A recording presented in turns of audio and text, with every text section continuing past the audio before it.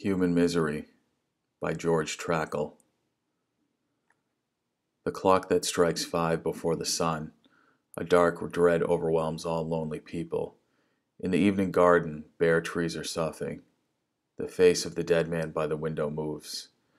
Perhaps it's true this hour is standing still. Before dull eyes, blue images are swaying to the rhythm of the boats that rock on the river. On the quay, a procession of sisters gusts by.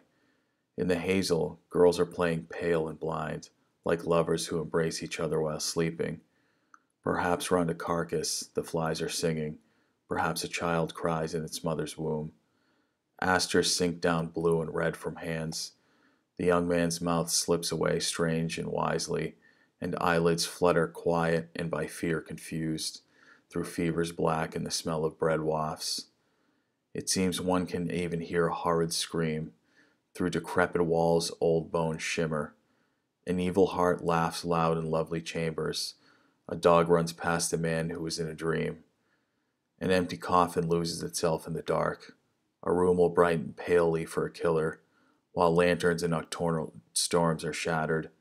Laurel adorns the noble one's white brow.